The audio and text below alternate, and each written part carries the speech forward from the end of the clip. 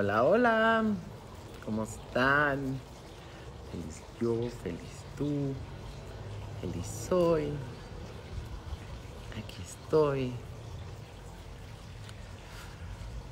¿Cómo están? Feliz miércoles, ombliguito de semana, muy suculento. Día de San Gabriel. Fíjense que estaba leyendo el otro día los el libro de meditaciones y la como los miércoles tenemos invitados, no leemos lo que dice aquí, leemos la carta, pero no lo del ángel. Y está bien bonito. Hola, saludos desde Torreón. Ándale, dime desde, desde dónde te conectas. Hola Manuel, Diana, ¿de dónde me ven? Hola Marta, feliz miércoles por Instagram. Yo aprendiendo más de tecnología. Ok, tuviste que cambiar luz de Facebook para acá. Hola mi mentora favorita. Sí, feliz ombligo de semana. Ya estamos más cerca, ¿verdad? Este fin de semana otra vez tengo grabación, entonces ando, estudié y estudié y repasando y todo para el curso de conciencia de salud 3 desde Denver. Saludos, un abrazo muy grande. Denver, Colorado. Oigan, bueno, pues la neta, la neta, la neta. Desde Laredo, Texas. Mi mamá era de ahí, Liz. De la Ciudad de México. Acá también ando yo. ¿Por qué allá se tarda más y me intolero? Ah, ok, en el Facebook. Pero hoy no estoy ahí, de hecho. Marta, saludos desde Querétaro. Un abrazo. Una plaza linda. Puebla, bueno, fui cuántos años. Oigan, bueno, pues sí se acuerdan. Ayer, Colombia, mi Cris. Vamos a tener a tus hermanos el 6 y 7 y 13 y 14 dando un taller aquí. Reynosa, Tamaulipas. Hola, feliz, te veo desde Woodstock, Illinois, cerca de Chicago. Estoy muy bien, con tendencia a mejorar. ¿Tú cómo estás? Pues muy bien también, muy, muy bien, muy contenta. Y les quería pues recordar que se me fue con tanta cosa y bueno, el invitado que tenía me dijo que no podía y se me hizo como difícil agarrar a alguien para invitarlo. Y entonces dije, bueno, pues la invitada ahora voy a ser yo. Entonces estoy aquí para que me preguntes lo que quieras. Hola, buenas y bendecidas tardes, Martix y Comunidad Mar de Luz. ¿Cómo ven? ¿Les parece que la inspiración sea yo el día de hoy? Y la próxima semana va a ser con los tres hermanos, porque ya están aquí en México.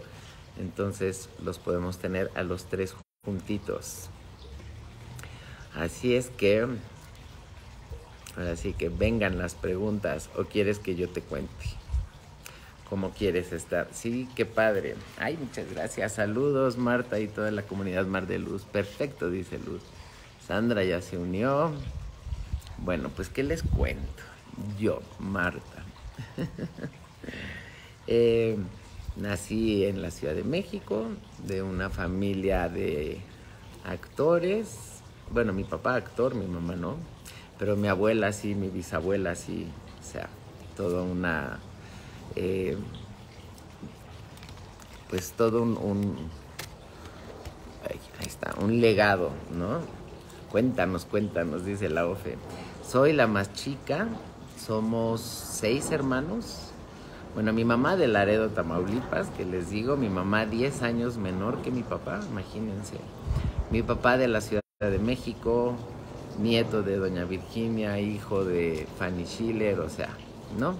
Y pues desde muy chavo quiso ser actor, inspirado por su abuela, que fue la pionera del teatro en México.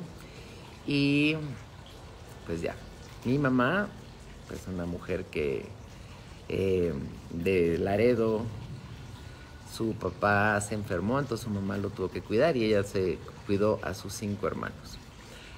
Luego ya conoció a mi papá, se vino a la Ciudad de México, se casaron chavos, bueno, ella, ella de 20, él de 30, y somos seis hermanos, de los cuales entre es Virginia, Manolo, Mónica Y entre Rafael ahí hubo un, un hermanito que nació y que se murió a los dos años enfermo del corazón. Entonces esto para mi mamá, pues imagínense, fue un guamazo bien duro. Luego, bueno, cabe mencionar que mi mamá es rubia, era rubia de ojo claro. Todos tenemos este colorido así como mi papá. Y el bebé que se murió era rubio de ojo claro. Y el que nace después, que es mi hermano, eh, era rubio, es rubio de ojo claro. Entonces, bueno, ya. Chistoso, porque yo creo que por eso me ha, me ha interesado tanto el tema, porque no se hablaba mucho de, de mi hermano ni del tema, ¿no? Luego nazco yo y eh, mi mamá dice, esta niña viene enferma, y el doctor le dice, no, y mi mamá dice, sí, y a los dos meses, ya mi mamá obviamente estaba hecha una una doctora, una especialista en el rollo cardíaco, y a los dos, tres meses le dicen, no, pues sí, y entonces, gracias a la ciencia, a la tecnología, a los cinco años me operaron y este y fíjense, me causa gracia porque siempre fue como de, bueno, pero no te acuerdas. Y dices, pues ¿cómo no te vas a acordar? O sea, y algo así tan fuerte, ¿no? Porque yo me acuerdo que en el hospital yo toda alegre tenía mi sillita de, de ruedas para que yo anduviera en ella y más bien ponía mi muñeca y la empujaba. Y pues sí, tenía puro compañerito fregado, ¿no? Uno con úlceras, otra que le habían este, mordido la cabeza unos perros que tenía y así, una banda. Ay, Luz. Por algo no lo quise decir, pero ahí te va, está bien loco. Luz me dice, ¿cómo se llama tu hermanito que falleció? Se llamaba Rafael. Y luego nace mi hermano y le ponen Rafael. Entonces como que era Rafaelito y Rafael. Sí, está bien locochón. Y eso no lo vi, fíjense qué interesante hasta que estuve en la India y en una constelación familiar lo vi, pues digo, como ¿cómo uno se acostumbra? Hola maestra, ¿cuándo y por qué deciste? Ahí voy, ahí voy, ahí voy. este, como, como si hay algo, ¿no? Como lo que te ponen en, como creencia, como implante, como interesante punto de vista, como hemos dicho, pues para mí era muy normal Virginia, Manolo, Mónica, Rafaelito, Rafael y yo. Y les digo que no se hablaba mucho de Rafaelito. De hecho, no hay fotos porque mi mamá pues, se puso malita y rompió todas.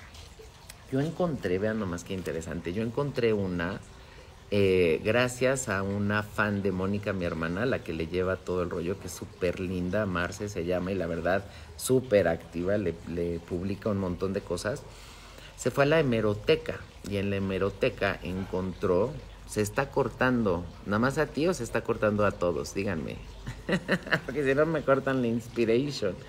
Oye, se fue a la hemeroteca y encontró una foto donde están en la escalera de la casa de insurgentes y este y está Rafaelito.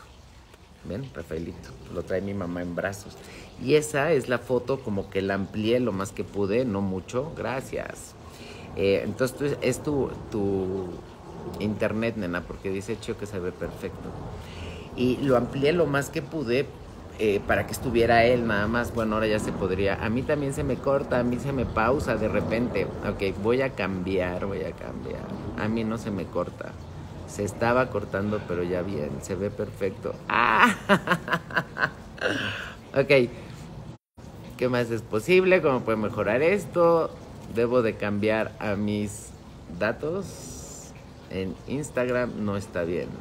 Marta, ahora en tu día de inspiración te pregunto, ¿cuál fue la clase que te impresionó más de las que aprendiste de tus maestros? Se corta. A ver, voy a cambiar, pero... Metatron. Exacto, Elisi. Bueno, aquí está San Gabriel. Oigan, díganme, ¿ya se ve bien? ¿Ya se ve bien? Ok, ya, estamos con mis datos. Es que luego ya ven que esto está como locochón, esto de las comunicaciones. Algo querrá decir que no nos comuniquemos, pero bueno. Eh, el caso es que esa es la foto que utilizo para mi altar. Y ahora estoy pensando que, claro, ya lo... Creo que desde el año pasado ya está más como con mi mamá también el bebé. Bueno, entonces me operan a los cinco años y yo era súper inquieta, pero súper inquieta. Cuenta mi mamá que, ya les he contado, que no sabía si me estaba riendo o estaba llorando y entraba y yo estaba echándome unas carcajadas. Y luego todo el día cantaba, todo el día hacía rimas, todo el día bailaba, todo el día dormía con mis hermanas, me corrieron porque jugaba con sus Barbies, luego dormía con mis hermanos, me corrieron eh, porque hablaba con los ángeles y entonces me dieron mi cuarto sola que fue como improvisado con tabla roca que siempre pensé si fuera alguien más igual lo rompen pero para mí o sea no como me corren y yo solita yo solito. Y ahí estaba la máquina de coser y unos santitos y demás. Y yo feliz, feliz, era mi, pues, mi cueva, yo creo, porque más hacía con las sábanas y ahí ya hablaba con em, Marta. Quería saber si sabes de alguien que vea temas de dinero y energía. Estoy iniciando un negocio. y entonces, este, bueno, ya. Crecí con mis hermanos. ¿Cómo era mi relación con mis hermanos? Fíjense que era muy padre porque pues, todos los que son familia grande es muy divertido. Manolo, mi hermano, es muy simpático, era todo travieso y todo bromista, ¿no? Se subía a la azotea y te hablaba desde ahí, te asustaba, hacía todas bromas elaboradas. Rafael también era súper simpático, muy alegre. Hacían obras desde chiquitos en mi casa, ¿no? y este, uno actuaba y el otro, y yo levantaba la cortina, yo creo, ¿no? La sábana, porque pues no, no actuaba yo. No era lo mío, según yo. A mí lo que me gustaba era el baile. Entonces bailé de todo. Bailé ballet, bailé jazz, flamenco, tap, hawaiano, etc. Y eh, quise no sabía, es donde yo les digo que creo que sí está cañón, que a los 16 años, 17, ¿no? Así 15 minutos antes de entrar a la universidad, sepas qué es lo que quieres estudiar y que además, pues eso, ¿no? Va a ser para toda la vida. Y dice Rafael, mi hermano, y me acuerdo que yo le decía que yo quería ayudar a la gente. Entonces yo quería bailar, pero pues no me dejaron y me metí a estudiar primero diseño industrial, pero era muy matado con, en esa época era, ¿no? Con regla, con todo manual y los ojitos, dije, no, bueno, psicología, que ahí también pues por leer un montón, pero tuvo padre. Y cuando terminé fue como de, ay, qué padre, pero no es lo que yo andaba buscando. Y claro, yo lo que quería también, esto es muy simpático yo lo que quería era como ser mía, porque para allá, esta época, pues mis hermanos, ay, me salté, me salté. A los, a los 12 años me mandaron a estudiar fuera. Era, mi mamá tenía dos traumas, uno que no nadaba y otro que no hablaba inglés. Entonces eh, nos aventaron a una alberca desde que llegamos y nos mandaban a estudiar, ¿no? Cuando pudieron ya económicamente que estaban mejor, a estudiar fuera. Y el primer año, les he comentado, fue en un convento, entonces sí atentó contra mi alegría. Yo sé que hay mucha gente que le ha ido re bien con las monjas y los padres, a mí no. De hecho, en ese convento fue Mónica mi hermana y justo la monja que amaba a Mónica a mí me alucinó. Eh, eso te puedes decir, ¿no? Como somos las dos, me imagino lo diferentes que podemos ser. Y luego hice que me expulsaran, ahí me eché uno que otro este truquito. y mi hermano Rafael le dijo a mi mamá, mira, en una edad y México y tal. Mejor déjala acá. Y sí, efectivamente, mis amigas y mis amigos acá estaban pues en el chacoteo, ¿no? Y me quedé allá internada y claro, internada pues o estudias o estudias y haces lo que te dicen. Y me quedé dos años más, pero ya no en un convento. Eso fue bastante más alivianado. Y ya no en un lugar donde hacía un montón de frío, sino ya con un clima más gentil, digamos. Y ya que le andaba yo agarrando la onda a, pues cómo como era ya el idioma y todo, me regresan. Y yo decía, no puede ser. Porque ya me había gustado, ya estaba yo muy contenta. Y cuando regresé me metí en una escuela inglesa, porque pues este era allá, para revalidar y pues fue muy divertido, muy, muy divertido. Estuve con gente súper interesante, amigos que hasta el día de hoy son las fotos que comparto luego de que estamos en San Miguel de Allende, ahí en nuestra reunión que hacemos como cada dos años y pues muy divertido, ¿no? Luego la psicología, luego terminó, pues como que esto no me acaba de dar lo que quiero, según yo.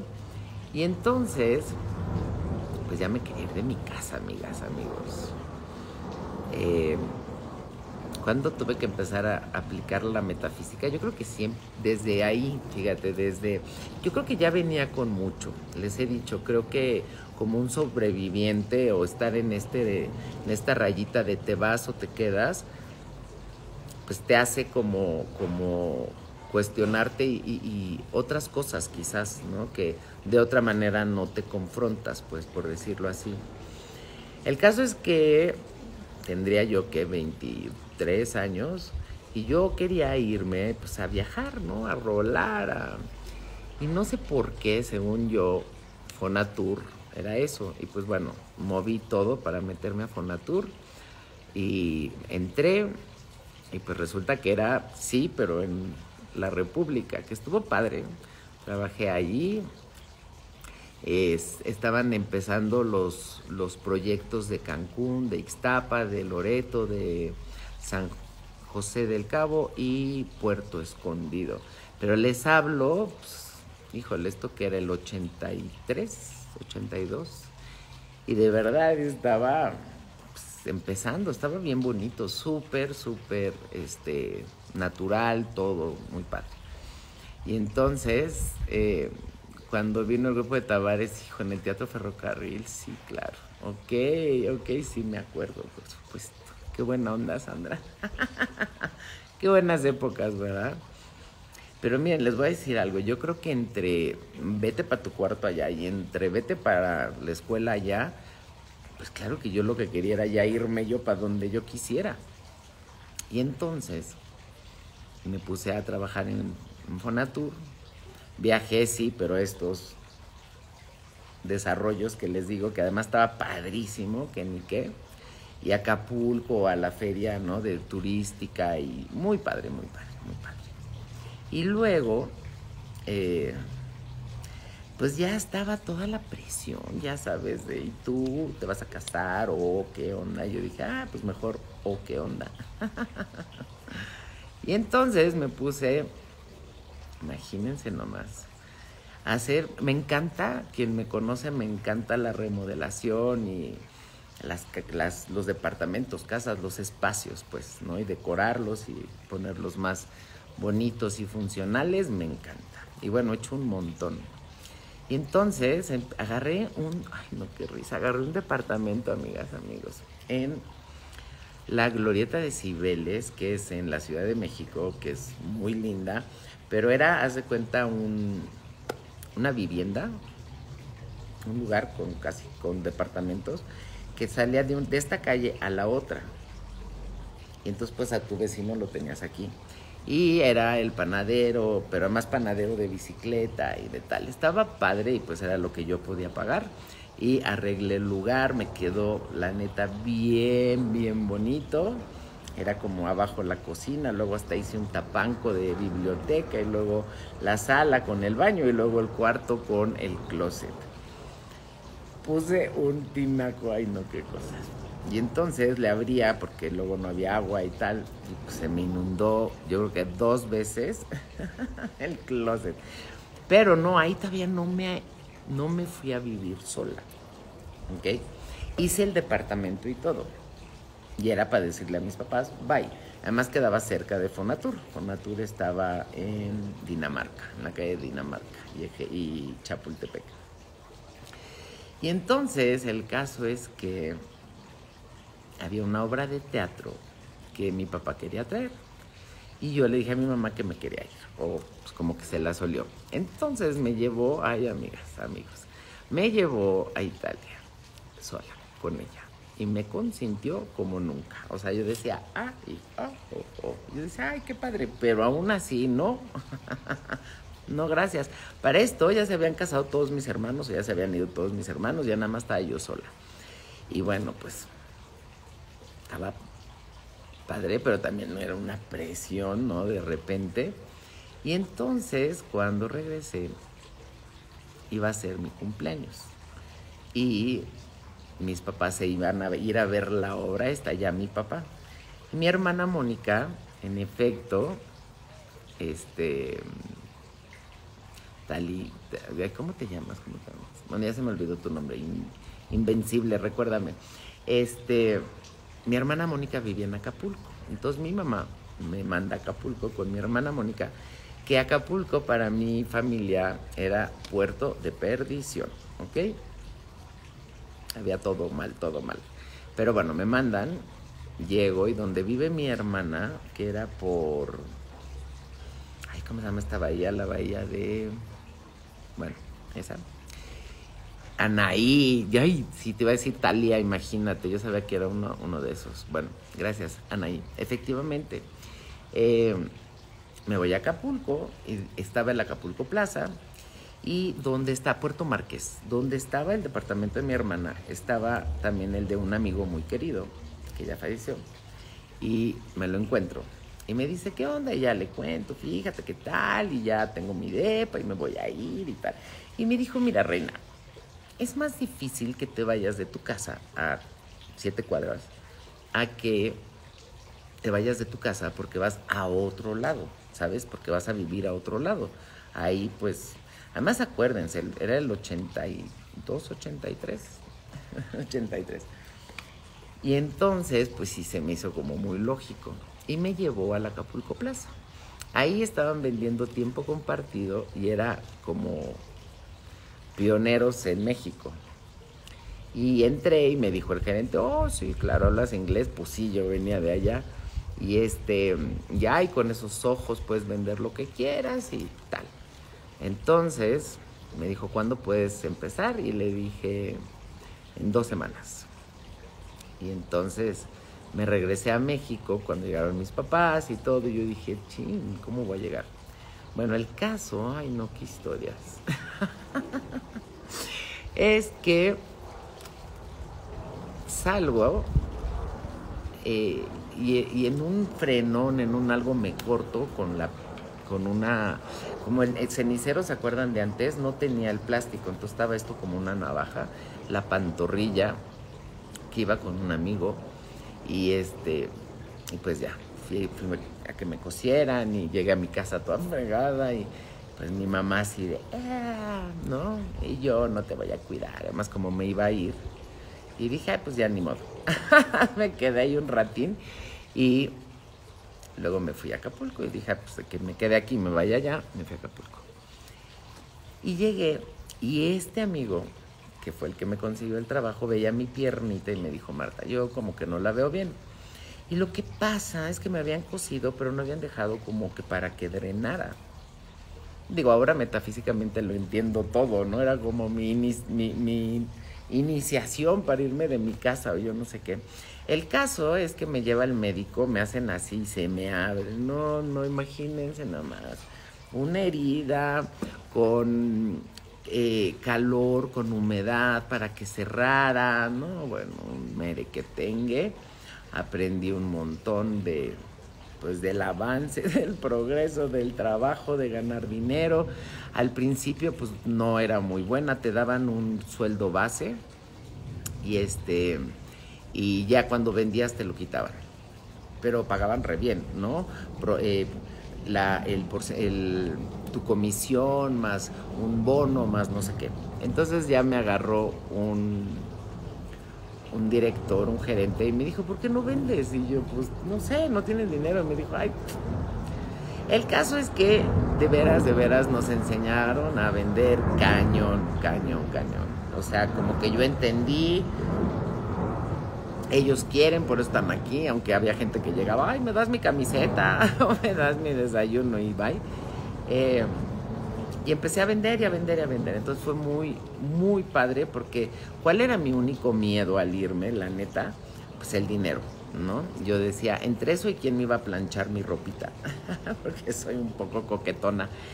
Y, y, pues sí, cuando te vas de casa y rentas, renté, imagínense la inspiración, ¿no? Porque no hay suerte. Mi departamento que renté, el departamento que renté, estaba justo enfrente del Acapulco Plaza.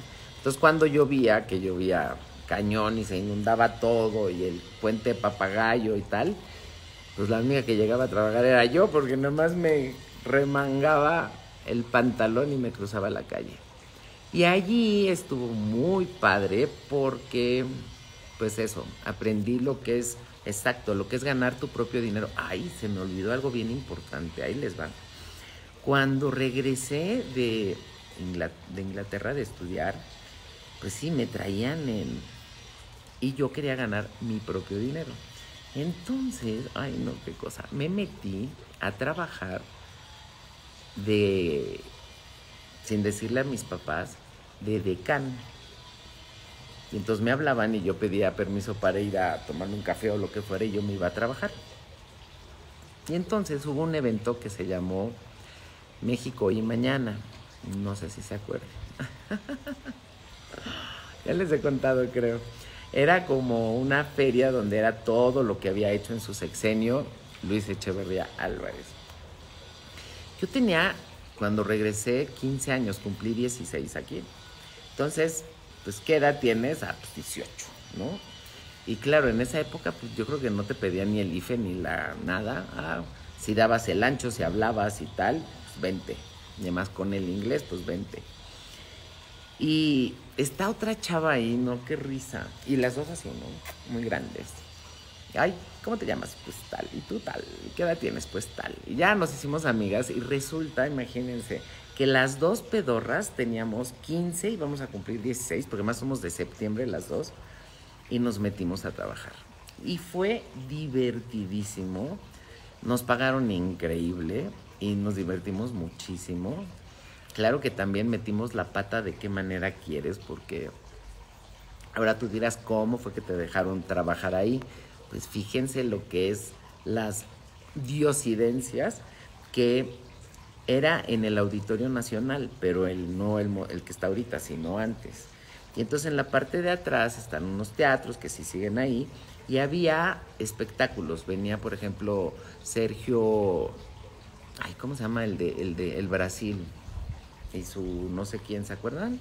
Alguien que se acuerde de esa época. Bueno, el caso es que mi papá fue el, director de, ese, de esa área, por decirte. Entonces cuando me cachó mi mamá, pues ya Mónica, mi hermana, se metió también y ya me dieron chance de trabajar. Entonces desde allí, que yo tenía 16 años recién cumplidos, yo vi claramente que la única, el lunario, no, el lunario ni existía, Sergio Méndez y su no sé qué 69, ¿se acuerdan? esto no era, y su, ándale, y su Brasil 77, eso sí era, sí era el 77, yo creo que era el 60, sí, Brasil 67, porque ese año debe haber sido el 76, por ahí. Pero bueno, el caso es que por eso me dejaron trabajar y fue pues muy divertido, hicimos mil tonterías porque estábamos bien chiquitas, obviamente. y bueno, sigo, sigo llevándome súper bien con Mili, mi amiga. Pero lo que les quiero decir es que para mí ahí se me abrió el... ¿Sabes? La única libertad real es la financiera. Yo no sé si conozcan a mi, conocieron a mi mamá, pero mi mamá era pues así, ¿no? Y me acuerdo de estar un día comprando unas botas o algo que yo quería y eran unas botas naranjas, me acuerdo perfecto, como color otoñal, ¿haz de cuenta? Y mi mamá me dijo, a ver, para comprarte esas tienes que tener negras, cafés, o sea, color. Y yo dije, ajá, saqué mis dólares y pagué mis botas. Y se sintió así, lo máximo, ¿no? De, digo, tampoco tenía 11 años. Y pues tampoco a los 11 yo dejaba que mis hijos escogieran sus cosas. Entonces, me, me gustó esto. ¿Cuándo conocí yo a la metafísica? Bueno, la primera vez que escuché de ella fue como en esta época, como estuve ahí en Acapulco cuatro años. Entonces cuando escuché yo decía, ay, pues yo sabía de esto, pero no sabía cómo se llamaba. Y entonces, este, practiqué y practiqué y practiqué. Me fue muy bien, muy bien, vendiendo allá, me divertí muchísimo. Y llegó un momento en el cual como que o ya te ibas a otros desarrollos o... Y en ese momento mi papá se enfermó y yo dije, no, pues yo quiero irme a México y estar con mi papá. Pero vean, vean qué locura. Yo ganando un montón, súper divertida, con unos shorts, con una camiseta de Aka Joe, una blusa de Aka Joe, no sé si se acuerdan, unas de flores, bueno, ese era mi uniforme. Y en mi mente era como, esta no es la vida real.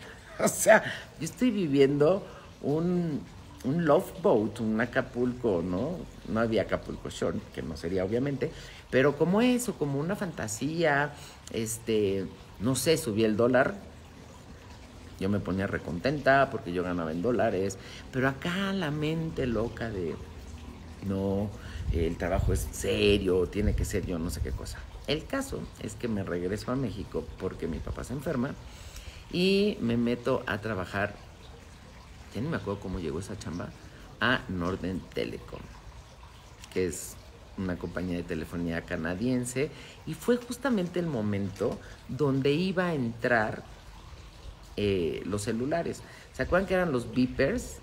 y que primero nada más tenían los doctores y luego ya tenían unos, podías hablar tú y dejar como unos números que significaba qué, o luego ya un recado o tal. Entonces mi jefe me dijo, no, no, no, viene algo que va a revolucionar completamente. Y pues sí, efectivamente, empezaron a llegar los de ladrillo, ¿se acuerdan? Y bueno, pues muy, muy padre. Y en ese momento fue cuando para mí fue como, híjole, algo más, algo más, algo más. Yo sé que hay más. Estaba contenta en Orden Telecom, sí, claro que sí. Y aprendí un montón. Pero yo me veía así de traje sastre, media, tacón, portafolio. Yo decía, ¿qué es esto? Porque pues yo soy de playa, de sandalias, de ¿ok?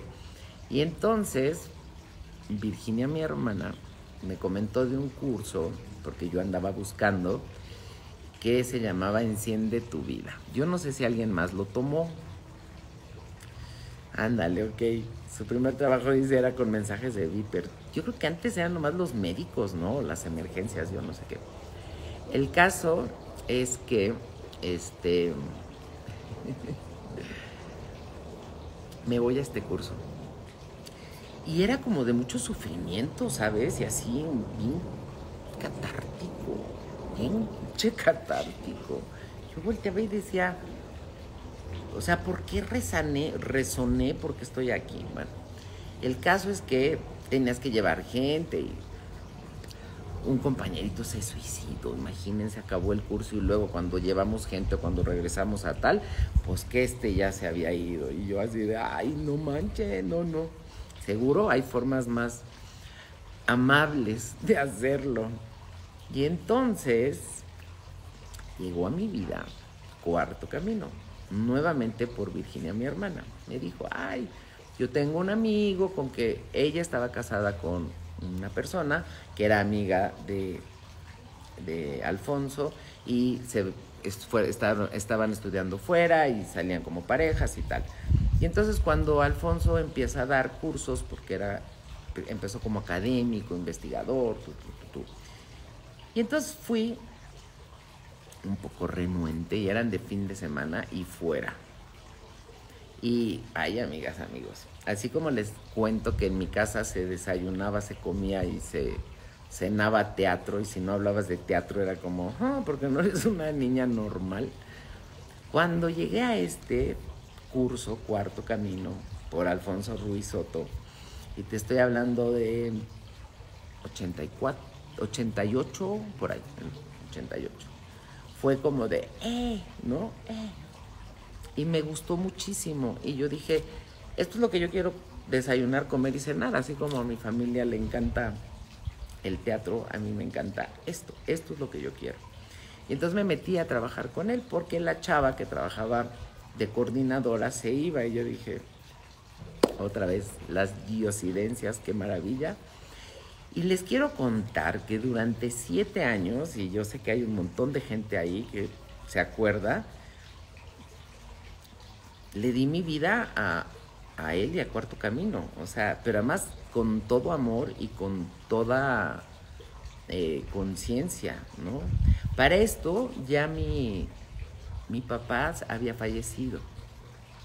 No es cierto, no es cierto, no es cierto, no es cierto. Ah, perdón, perdón, perdón. No, en el 86 no, mi papá falleció mucho después.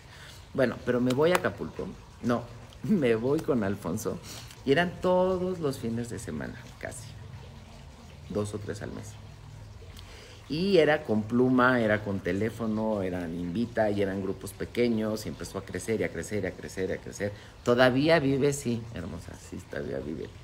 Y pues después de siete años y un trabajo bien bonito, pues sí, nos dijo, me dijo, porque ya nada más, no nada más era yo, éramos tres coordinadoras, que ya se iba a ir con una compañía que se dedica a eso, ¿no? A vender boletos y pues claro, se fue al centro médico y tenía cursos de mil personas. Y en, en ese entonces yo daba terapias, daba muchas terapias. Atendí a alguien de la colonia judía y sabes, o sea, si algo les gusta, te recomiendan y de repente pues yo tenía todo el día terapias. Cuando llega a Cuarto Camino, yo dije, no, pues me los campechaneaban. Y luego alguien me dijo, ah, en estos siete años acompañé a Alfonso pues, al radio, a universidades aquí allá. Y una vez fuimos a un lugar que se, llama, se llamaba Procer. Y él dio una plática, pero también eh, escuché y vi todo el temario y escuché una plática a mí me cambió la vida la semiología. Ándale, pero antes te estoy hablando ni existía la semiología, ¿ok? Era cuarto camino. Y cuando llego ahí, este lugar es de metafísica, entonces me doy cuenta y tienen como una corriente científica y otra metafísica, pero pues eran lo mismo, ¿no? Y dije, no, de aquí soy. Yo sabía. Y me vuelvo loca de la emoción y me empiezo a tomar todos los cursos que había ahí y ahí es donde encuentro el de conciencia de salud, que se, se llama allá diagnóstico metafísico de la salud. Y entonces, con mi maestra adorada, y me dice, cuando yo digo yo lo quiero dar, me prepara y me dice, ok, pero simplemente cámbiale el nombre y no le cambies la información. Va. Y pues feliz. Todo se acomodó. Y de repente yo era seguidora de Urumay. Durante muchos años fui a bailar y a meditar a Zamora y vino a México, se quedó en casa de un amigo mío, imagínense, tuve la gran fortuna de conocerla así en cita privada, porque me le pegué a la familia de mi amigo. Luego fui con ella, la fui a ver a Nueva York, este, bueno, fascinada, fascinada. Y fascinada en este camino espiritual.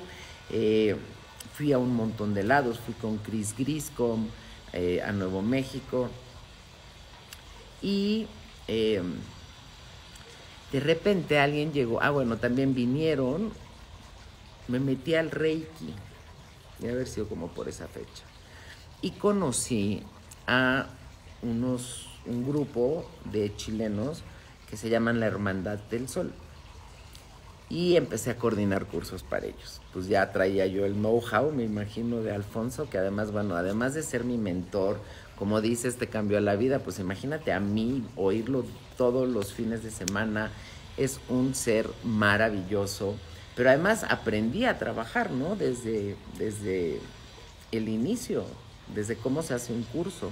Y yo me acuerdo en Cuernavaca cuando eran en el monasterio, no, no, o sea, yo con un gancho de ropa, abriendo, ¿sabes? El, destapando el WC, este, llevando el agua en la charola, no, bueno, muy divertido. Y seguro debe haber gente aquí que se acuerde de esa época. Y el caso es que uno de los chicos de la Hermandad del Sol viene y me da un libro y me dice, yo creo que este es tu maestro. Y era Pepitas de Oro de Osho. Y lo leo y realmente, uff, ¿no? Gurumay, quien conozca o sea seguidor de Gurumay, yo la amo, además maravilloso, imagínate una mujer, ¿no? Eh, en un rollo pues bastante machista podía ser, entonces todo lo que, lo que evolucionó, lo que significó, porque estaba entre ella y su hermano, se lo lleva a ella, eh, un ser lindísimo, ¿va? A mucha gente le pegaba lo de la devoción al gurú, a mí no, yo no tengo problemas, yo sé que mi ser saluda a tu ser y que todos somos luz. Pero el rollo de las niñas con los hombres por allá y todo este rollo, como que cuando conozco a Osho fue así de wow. Claro, Osho ya no estaba en cuerpo.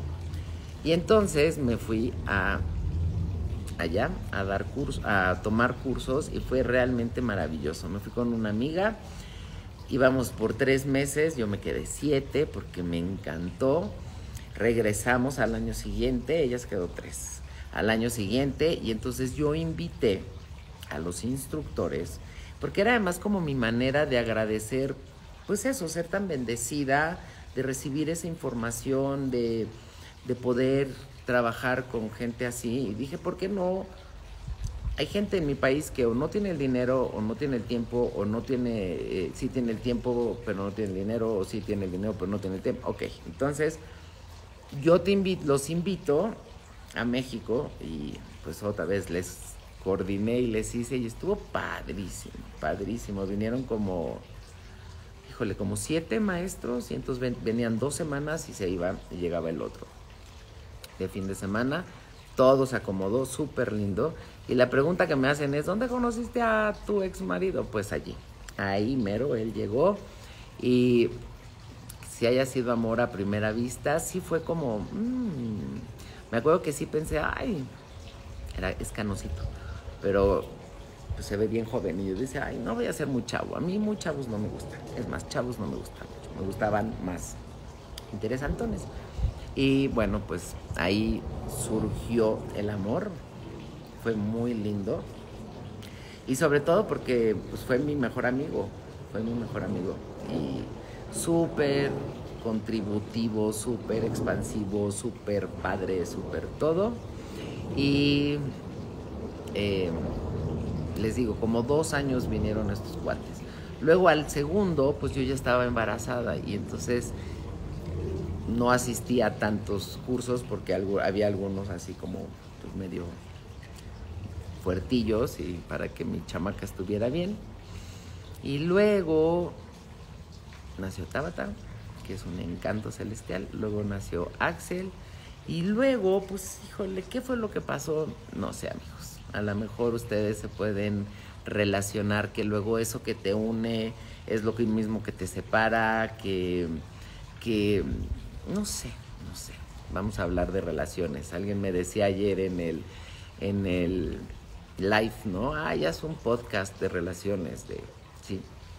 El caso es que pues a lo mejor como pareja no funcionó, no siguió, pero como pareja parental somos muy buenos y somos muy buenos amigos, lo quiero muchísimo y tan Luego, ¿qué más? Pues ya llegamos ahora. La metafísica, ¿cuándo llegó? Pues les digo que yo creo que desde Acapulco, desde chiquita. Sí, hablemos de relaciones, dice Esme. Es que sí es fuerte, caray. Es como, ¿saben qué? Es como un espejo. El otro día le digo yo. Ay, Jabo, es que nos casamos muy chavos. Y me dice, teníamos 40 años. Y yo, por eso. Porque obviamente si le echas años a todo lo que hice, pues sí me casé a los... Me salí a los 23 y hice todo eso. Fue a los Platícanos que lo querías hijos. Yo creo que lo que quieres decir es platícanos que no querías hijos. Este, sí. Toda mi vida dije que yo iba a ser la tía alcahueca, alcahueta, la tía nada, la tal, tal, tal. Y cuando justamente Marta Llerenas me hace eh, los registros akáshicos, me dijo, no, pues a eso vienes, ¿no? A practicar la ternura, el amor, la paciencia. Y yo, no, no, espérate, es que mira, yo doy cursos, entonces mis alumnos son como mis hijos. Y me decían, no, no, no, no, no. Y bueno, pues se dio. Sí me abría la posibilidad, ¿no? Antes era como de, no, no, no, no, muchas gracias. Y sí les puedo decir que todos los 10 de mayo doy gracias a Dios de tener a mis hijos. No te quiero decir que no ha habido veces que dice uno, ay, ¿no? Y yo creo que a todos nos ha pasado, pero no, no, los amo, los amo y han sido grandes maestros y veo como si tenía yo que trabajar esa parte y, veo como, pues modestia aparte, lo hemos hecho muy bien y yo digo lo hemos porque es un, trabajo conjunto. Y como te digo, si ya como pareja no funcionó como parental, o sea, como una pareja parental, sí funciona. Y, de verdad fue un trabajo personal, porque, pues sí, yo te entiendo. De repente cuando estás terminando y, pues no está padre, no está padre terminar, uno a lo mejor no quiere y el se pausó, ¿ven lo que les digo? Este creo que es lo que sí es importante y lo que sí podemos hacer nosotros. O sea, tú no puedes hacer que uno se quede si no se quiere quedar. Tú no puedes hacer que eso siga si el otro, o sea, para bailar se necesitan dos. Pero tú sí puedes hacer que no sea un infierno, ¿sabes? Que tu parte sea lo más eh, amorosa posible y lo más eh, fluida. Porque hablábamos, ¿no? Ante un hecho consumado, aceptación y, y luego no tarda uno, porque pues tu foto Kodak, así bien bonita, ¿no? Tu, tu, tu pareja, tus hijitos, la casita, las flores en la ventana, y ¡tas! se rompió. Y pues no es verdad, no se rompe, simplemente cambia. Y yo creo que de eso sería bien interesante hablar mañana, de los cambios, de cómo lo único constante son los cambios y cómo nos daba mucho miedo lo desconocido, porque simplemente como no lo conocía, porque era un cambio, pues ya me cerraba. Y, vienen cosas lindísimas. Alguien pone, este, ay, qué vida tan interesante. La neta sí, es lo que les digo, o sea, y se las conté así como por, porque subieron más. Cuando, ay, no digas tu edad, yo digo, pues, ¿cómo, o sea, cómo cabría tantas experiencias, tantos viajes, tantas cosas? Si no tuviese ese tiempo. Yo tampoco quise hijos ni casarme, no tengo ninguna de las dos vocaciones. Sí, te perdí un podcast sobre los cambios y en matrimonio, sí, yo sé, sí. Eh, a mí me pasó lo mismo, no quiero hijos, pero en los registros chicos me dijeron que sí. ¿Y sí los tuviste? Lina, ¿cómo te surgió empezar los lives hace más de un año? Ay, está muy bonita esa pregunta. Fíjate que lo que fue, cada vez que pasaba algo, el temblor, el no, eh, pues yo hacía un live, hacía una recolección, llevábamos tal, tal, tal. Pero de repente en marzo del, del 2020 yo sí dije, no, esto está cañón. Y pensé, bueno, vamos a hacer, voy a hacer uno diario y a la hora de la comida, y le vamos a poner el aperitivo, porque mi creencia era que a la hora de la comida los programas que estaban en la televisión o así eran programas bien pinches. Señorita Laura, y no, que pase el desgraciado y todo esto. Entonces, irte comiendo eso no estaba padre. Y pensé, vamos a hacer un live diario donde nos estemos porque sabemos que es la constancia, no es la repetición y la emoción y me di cuenta que efectivamente había gente con mucho, mucho miedo, que había gente con, con ansiedad, con emociones que también podíamos transformar y juntarnos, trabajar juntos y, y, utilizar ese tiempo de tienes que estar adentro y no puedes salir y demás, más que con el miedo, más hacia el trabajo personal. Y creo que eso es bien interesante. Y, y seguimos en lo mismo, o sea, nos vacunamos, nos vacunamos, pensamos bien, pensamos que es lo mejor para nosotros y ya. Está el genoxidil, está la cabeza, está, ¿sabes? Es adaptarte, es fluir. Si nos vamos a poner en, pues, por supuesto que es tener tu propio, eh, tu libre albedrío. Sí, tengo tres hijos, felicidades. Eh, no sé mucho de los registros acá, chicos. Luego invitamos a esta chica. Un, un, podcast de separación, claro. Sí, claro. ¿Qué es lo que más disfruto? Híjole. Estar con mis chavos, definitivamente, y no es un cliché. Eh, y estar con ustedes. Eso es lo que más disfruto. Disfruto un montón mi trabajo. Disfruto mucho crear. Disfruto mucho el que se me ocurra algo y luego verlo manifestado, ¿no? Como con este poner una semilla y luego verla cómo germina y cómo florece. Entonces, pues eso está padrísimo. Mi papá se murió cuando yo tenía 36 años. Estaba con los, me acuerdo perfecto, estaba con los de la, los chilenos, los de la Hermandad del Sol. Estaba trabajando, estaba ahí. Y tenía yo el centro en mi casa. Y luego mi mamá, pues mi mami falleció el 18. Eso está más cercano. Ah, hay uno de, de preferencias sexuales. Big Water Flow, exacto. Hace un muy pasado, sí, claro. Oigan, bueno. ¿Cantan? Espero que te hayas inspirado. Mira, yo te voy a decir, en mi casa todo el que caminaba y hablaba tenía que ser de teatro y tenía que estar casado. Mis papás, mi papá le preguntabas cuándo te casaste y decía, nací casado. Yo tuve que romper con un montón de paradigmas. O sea, el no casarte ya era el irte de tu casa, ¿no? Porque te salías casado. Mis hermanas se casaron y se salieron. Y yo dije, ay, no, yo no. Eh, ¿Por qué no funcionó? Pues yo agradezco lo que fue y, y, pienso, además también, alguien dice por ahí, yo no, no tengo la vocación. Yo no sé qué tanto tenga la vocación de pareja, pero sí de mamá. Y acuérdense que puede haber eso, porque también nos lo han puesto como, ah, pues primaria, secundaria, prepa, carrera, casarte, hijos, dos.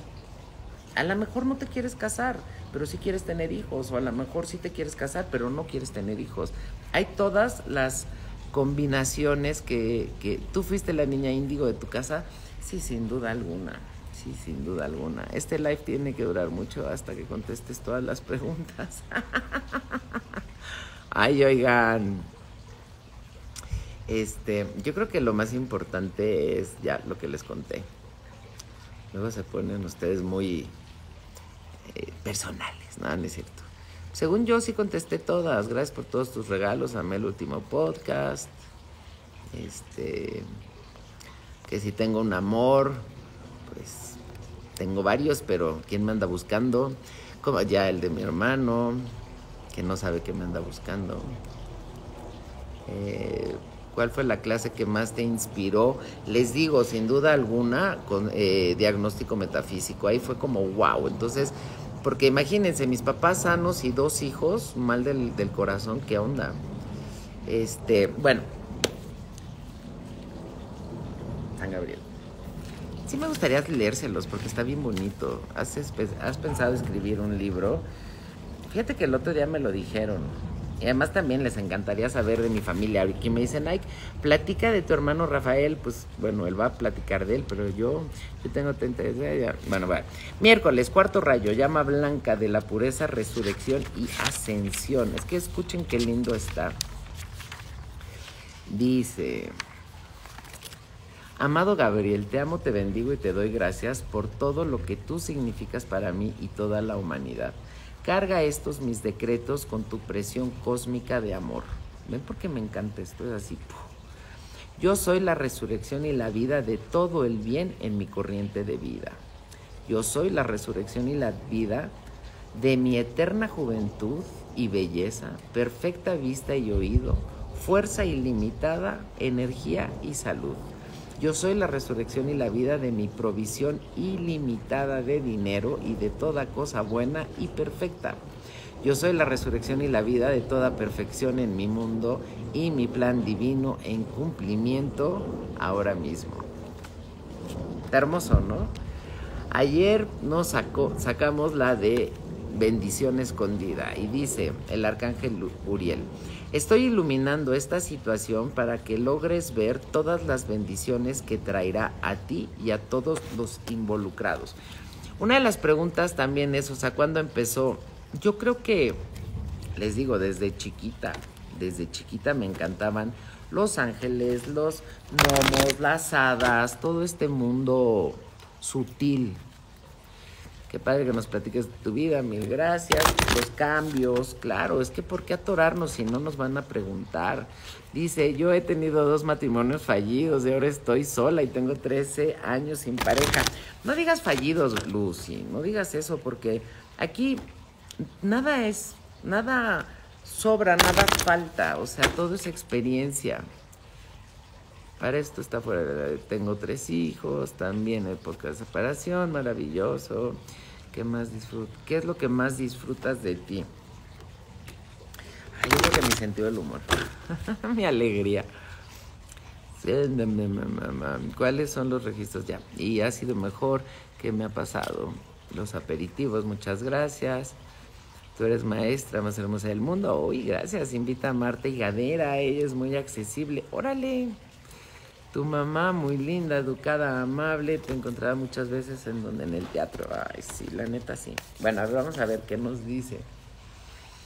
Ay, gracias, gracias, Fuente. Mándanos al mensajero para este momento. Gracias, hecho está, hecho está, hecho está. Energía cristal. Híjole, yo creo que es mi hermano. Bueno, y el arcángel Rafael. Dicen que los niños. Ah, no, pero esos son los arcoíris. Bueno, ahí te va. Tu sensibilidad es tu mejor guía. Acuérdense que esto es para todos, ¿eh? No es nada más para mí, es para todos nosotros. Vamos a ver qué nos dice. Pero justamente acababa de leer la pregunta de si eres niña cristal. Digo, niña índigo, yo creo que sí. Eh, dice, los niños cristal tienen una energía sumamente amorosa, juguetona, que ayuda a conectar con el mundo espiritual de manera profunda y sanar con su calidez a su paso. Ellos vienen a enseñarnos, este, ellos vienen a enseñarnos a otros a confiar en su intuición, ya que son naturalmente psíquicos. Recibe el mensaje de confiar más en tu intuición y haz caso a las sensaciones y emociones que te lleguen a ti de manera repetitiva. Tu sensibilidad es tu mejor guía. Para la generación cristal, su sensibilidad es una herramienta básica. Tú puedes pedirle al arcángel Rafael que te ayude a aprender a utilizar tu habilidad psíquica llamada clarisensibilidad, donde te dejas guiar por tus emociones de manera certera. Los niños o adultos cristales son sanadores natos que te recuerdan que tienes el poder de autosanarte. Abraza a otros más seguidos conectando con tu corazón.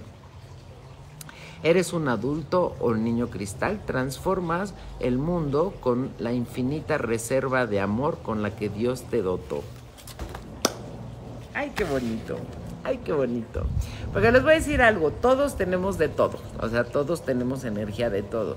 ¿Qué tomaría? Yo creo que aquí lo que nos están invitando es a eso, a despertar nuestra sensibilidad, a hacerle caso. Oigan, bueno, pues les mando un beso muy grande. Nos vemos mañana. Y pues, ¿qué más es posible? Espero te haya gustado. Es una vida pues muy linda para mí, con sus bemoles. De entrada fue como no muy agradable.